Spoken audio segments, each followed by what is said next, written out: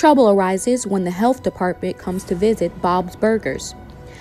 It notes down a couple of things about the restaurant that needs improvement, but as it gets there and it realizes the advertisement of the company is a young child in a hamburger suit, the confusion arises.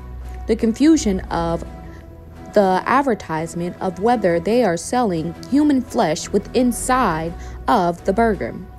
Bob tries to explain to the health department that it is just advertisement Unsure that Bob is telling the truth, the health inspector thinks that Bob is trying to pull a fast one over on him to keep his doors open. Louise comes in and tries to explain to the health department as well that this is just merely advertisement to ensure that customers see their business over their competitors.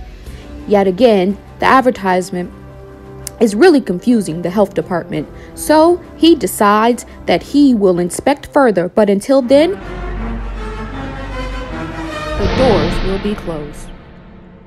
Feeling defeated, not knowing where to go or what to do, Louise and Bob try to think of a plan on how to communicate effectively to the health department in explaining the situation.